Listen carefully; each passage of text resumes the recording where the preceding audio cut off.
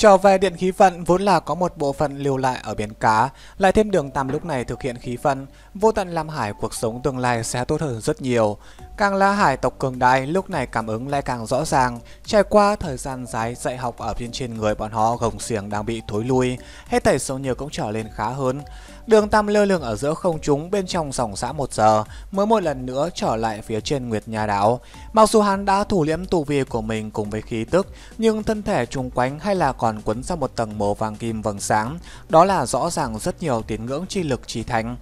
Nhìn xem đệ tử của mình, Trương Hạo Hiên không khỏi nuốt xuống một hớp nước miếng. Hắn rất hoài nghi mình là một giả thần cấp cường giả đi, chân chính thần cấp nên giống như đường tam dạng này mới đúng.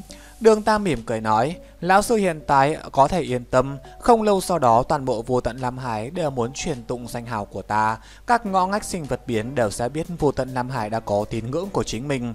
Bọn chúng tại ta phía dưới thủ hộ, nhân loại cũng là từng cái sáng, bọn chúng nhất định toàn lực ứng phó giúp nhân loại đấy.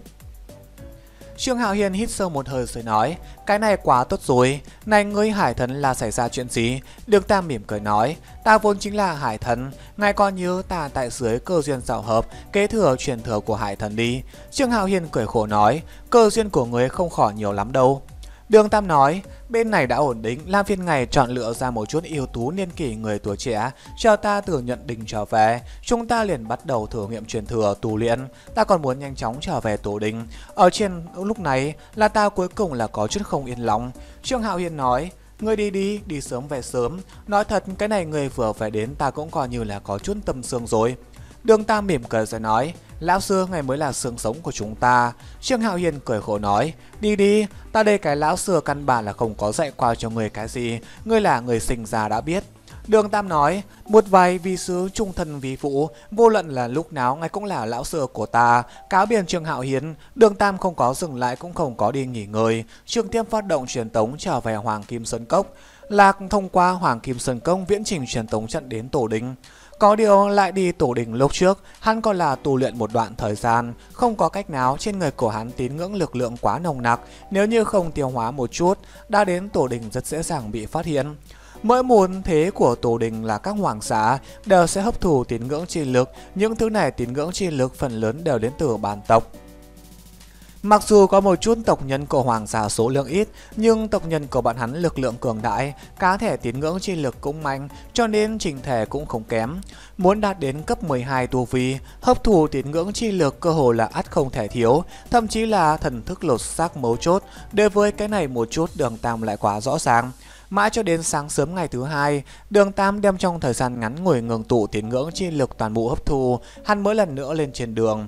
Vì vô tận Lam Hải giải quyết hải ôn, mang cho lực lượng tín ngưỡng của hắn là phi thường khổng lồ đấy. Mặc dù mệnh lệnh truyền bá cần một đoạn thời gian rất dài, nhưng cái này cũng mang ý nghĩa tín ngưỡng chi lực đem cuồn cuộn không dứt. Một vòng này trong nháy mắt đó bộc phát ra tín ngưỡng chỉ lực, liền đè cả thần thức của đường 8 tăng lên từng cái đoạn. Hiện tại thì hắn tu vi cùng với thần thức đạt đến tiếp cận 10 dài đỉnh phong trình độ. Chính là nhanh như vậy, Kiều Thiên Thập Địa đại phá diệt yêu thần kiếm khủng bố như vậy, vượt qua vẻ gió mang cho đường tam chỗ tốt không thể nghi ngờ là to lớn. Có điều đường Tam cũng không vội lấy đột phá, lấy kinh nghiệm của hắn vô luận là cái gì cấp độ, đột phá cũng trồng hậu tích bạo phát, dạng này mới có thể không lãng phí tiềm năng của mình, để cho mình tại trong đột phá khi mà đến một giai đoạn thời điểm đó trực tiếp đạt tới đỉnh phong tiêu chuẩn. Dựa theo phán đoán của hắn, cho hắn đột phá đến cấp 11 thời điểm đó là hắn có thể khiêu chiến một ít lực lượng yếu kém hoàng giả rồi. Đường Tam trở lại bạch hổ khách sạn thời điểm đã là mặt trời lên cao. Ánh mặt trời sáng rõ từ ngoài cửa sổ lúc này chiếu vào gian phòng, nhiệt độ dần dần lên cao. Đối với bạch hổ đại yêu hoàng, trong nội tâm đường Tam vẫn có một chút cảm kích, vì này hoàng giả mặc dù nhìn qua sát khí nghiêm nghị, đối với nhân loại cũng không có cảm tình gì, nhưng bởi vì cái gọi là yêu phòng cùng chim, vì nữ nhi của mình cùng với ngoại tuấn nữ, hắn hay là sớm thông trì ra Lý Thành bên kia, làm cho nhân loại đã có chuẩn bị, cuối cùng hy sinh là nhân loại chính mình quyết định. Phần nhân tình này đường Tam nhớ kỹ, đây cũng là tương lai hắn nguyện ý mang theo bạch hổ đại yêu hoàng, nảy sinh ly khai vị diện này nguyên nhân. Không có nóng lòng đi tìm Mỹ công tử, đường Tam ở trên ghế sao lòng ngồi xuống, từ độ kiếp đến bây giờ, hắn cơ hồ thẳng ở vào trong khẩn trương trạng thái, ngay cả minh tưởng thời điểm đó hắn cũng không thể nào từ bỏ cảm giác ngoại giới, còn liều mạng hóa giải cái kia lực lượng hủy diệt. Thẳng đến lúc này, hắn mới xem như chân chính trầm tĩnh lại, hết thầy đều đã có một kết thúc, Mỹ công tử cũng suốt cuồng trở thành gia lý thành chân chính chi chủ, đồng thời còn đột phá đến đại yêu vương cấp độ. Sau đó hắn muốn làm đấy chính là để cho mình trở lên trên càng thêm cường đại, không có vị diện áp chế, hắn chỉ cần tại trong vô tận Lam Hải không ngừng tiếp nhận tín ngưỡng trì lực, liền có thể nhanh chóng tăng lên. Nhiều nhất 10 năm, hắn tin tưởng rằng mình liền có thể đạt tới cấp 12 đỉnh phong cấp độ, mang Mỹ công tử ly khai vị diện này trở về thần giới, cả nhà đoàn viên. Thế nhưng hắn làm đây hết thầy chỉ là vì ly khai sao? Nếu như đơn thuần vì ly khai trở về thần giới, như vậy đơn giản cách làm chính là hắn mang theo Mỹ công tử đến hải thần đảo định cư, sau đó bế quan tu luyện 10 năm, thực lực đạt tới cảnh giới của thần vương về sau, liền mang theo Mỹ công tử cùng một chỗ rời đi. Thế nhưng vị diện này làm sao bây giờ? Vị diện này nội tình cường đại về sau, đường Tam liền đối với vị diện này đã có một chút suy nghĩ. Trước lúc rời đi, hắn nhất định là phải làm cho nhân loại chân chính có sinh tồn được điều kiện, cũng trở nên cường đại bắc sở. Hắn tương lai muốn dẫn đầu vị diện này trở thành thần giới, mà lại là cường đại thần giới. Cuối cùng còn muốn dựa vào lực lượng của nhân loại. Với lại, Hắn còn đáp ứng vị diện chi chủ, tương lai sẽ để cho đời sau của mình đến Pháp Lam Tinh, giúp Pháp Lam là thành tựu thần giới. Đời sau của mình tới thời điểm là không có thần chỉ chi chủ đấy, hết thầy đều muốn bắt đầu lại từ đầu. Vậy chính mình thì càng hẳn lá làm hậu thay mặt trải tốt con đường.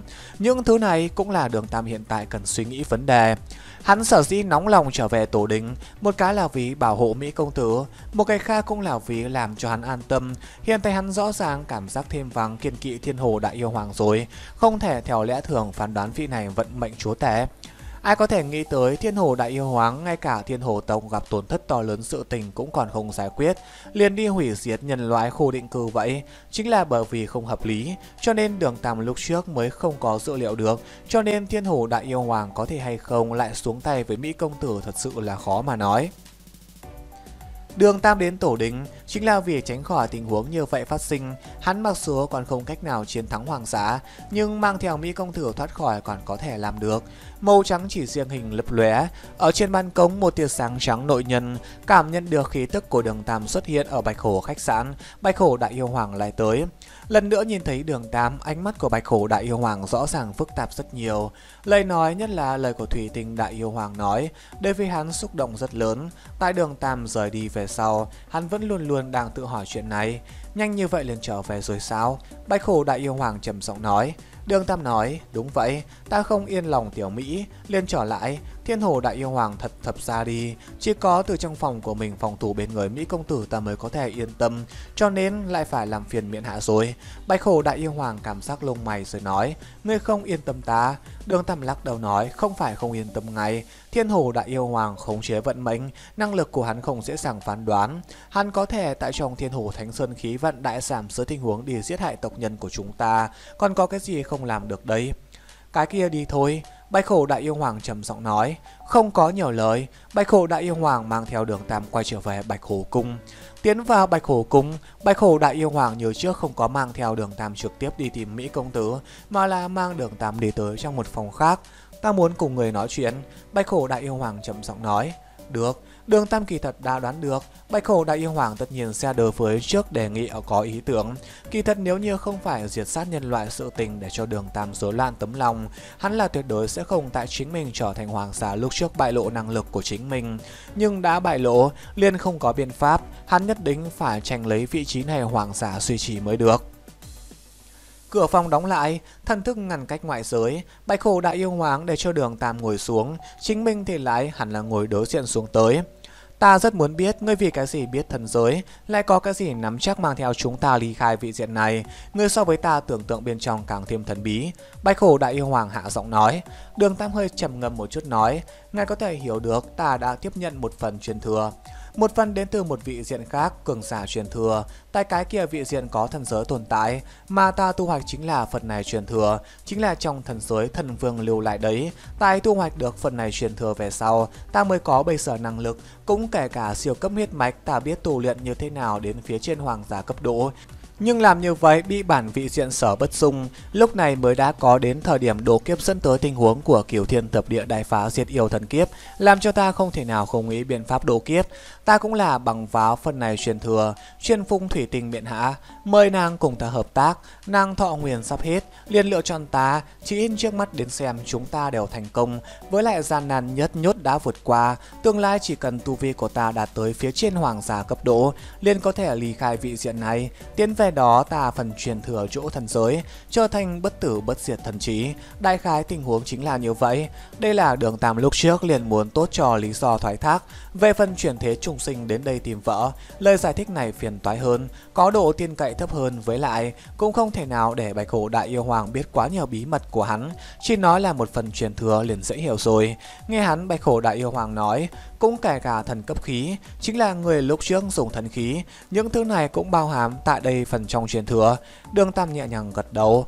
Bạch khổ Đại Yêu Hoàng nói, như lời người nói đấy, quá mức thần ký, người nắm giữ siêu cấp huyết mạch, còn có thủy tình Đại Yêu Hoàng thay người giải thích, ta lại không thể nào không tin. Như vậy, người có thể mang bao nhiêu người ly khai vị diện này?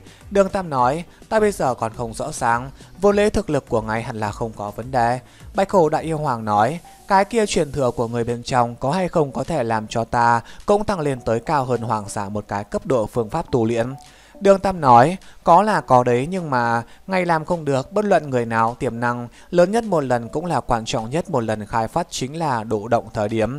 Năng lực bây giờ của ngài đã cố hóa, muốn lại để thăng tiềm lực là rất khó đấy. Chỉ là tại cái vị diện này là không được. Với lại ta vượt qua thiên kiếp, tương đối vu hòa bản vị diện thành hiệp nghĩ, cho nên tương lai coi như ta tu vi đạt tới phía trên hoàng gia cấp độ, nhất định phải ly khai bản vị diện. Cùng lúc ta cũng hướng về bản vị diện hứa hẹn, không phá hử vị diện cân bằng, mà ngay muốn muốn đột phá đến phía trên hoàng giá là vì bản vị diện sở bất dung, nhưng mà tương lai tiến về thần giới về sau, liền không có cái này hạn chế, lấy thần giới năng lực chịu đứng, thực lực của ngài hoàn toàn có thể trở lên càng mạnh.